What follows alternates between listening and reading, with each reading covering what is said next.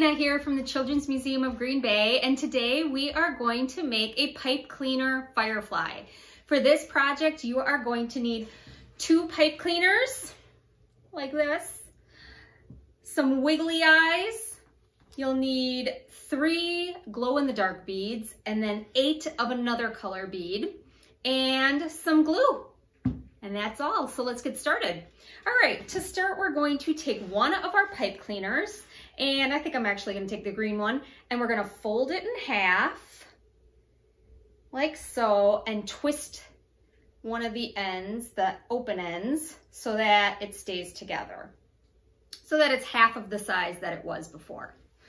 Okay, now I'm going to take the glow in the dark beads and I'm going to string them on on the side that I just twisted, put them on that side and push them all the way down. Not all the way off, obviously leave a little bit at the end. You can see right there. And just like that. And I'm actually just gonna fold the end a little bit downward so that they don't come off.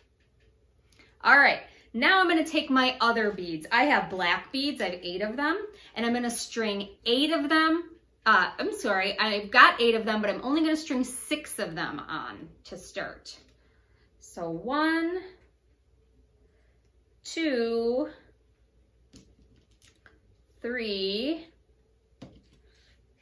four,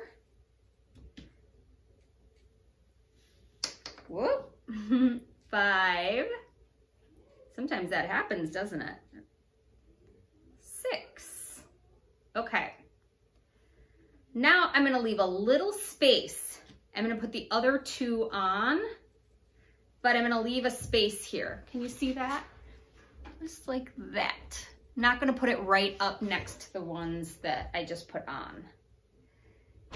All right, just like that. And then I'm gonna set this aside and I'm gonna take my other pipe cleaner out.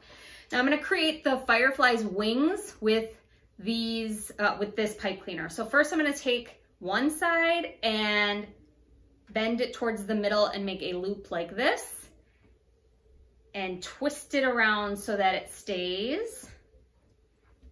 And then I'll take the other one on the other side, put it towards the middle, and loop it around. Now, if you look at it and you think, that's not quite equal, my wings aren't, you can always undo it and redo it again. Mine are, a, one side's a little bit bigger than the other one, but it'll be okay. All right, now I'm going to go to that empty space that I just left on my uh, other pipe cleaner and I'm gonna put my wings on there like so, right in that space, and I'm gonna twist it around so that they stay on. So I'm gonna put them on and just kind of wrap them around one time. Just like that. All right, now I've got this big end part here if you would like to, you could cut that off, not all the way, like leave a little bit on the end, but you could cut some of that excess off, or you could just bend it backwards like so, so you can't see that. All right. Now my firefly needs some eyes.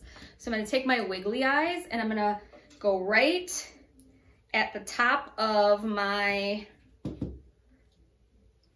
fly here, right up here, I'm gonna put two dots of glue. Now, I'm just using regular glue for this. If you have hot glue and a parent permission or a parent to help you with that, you could use hot glue as well. But hot glue can be dangerous, so make sure you have a parent helping you with that. All right, and there is my eyeballs. Now you'll have to let this sit for a second so that glue can dry so that it stays on. But there's my firefly. Oh, can you see it there? Oh, you can see his eyes. Now, what you can do is put this firefly, expose it to the sun for a while so that those glow in the dark beads get some sunlight because then you can bring it into a dark room and turn off all the lights and those beads will glow and you will have a glowing firefly. Pretty cool. Well, play well, learn well, and be well. I'm here with my fireflies flying around. We'll see you next time. Bye.